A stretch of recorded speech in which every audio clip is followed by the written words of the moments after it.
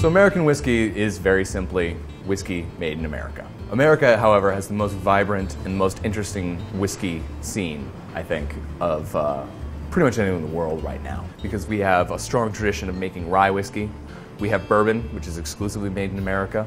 And we have a lot of, you know, interesting upstarts and smaller distilleries. So we make rye, we make Tennessee whiskey, which is also a classification like bourbon but different. It involves charcoal filtering and it's not as strict on its aging and bottling laws.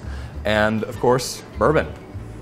Uh, the classic American spirit, quintessential American product. So American whiskey is quite simply whiskey that is American, but in a lot of ways, whiskey is the classic American beverage. It has so much influence on our history, our economy, and our culture in a lot of ways. America really is a whiskey drinking nation, and uh, you, you should get involved with that.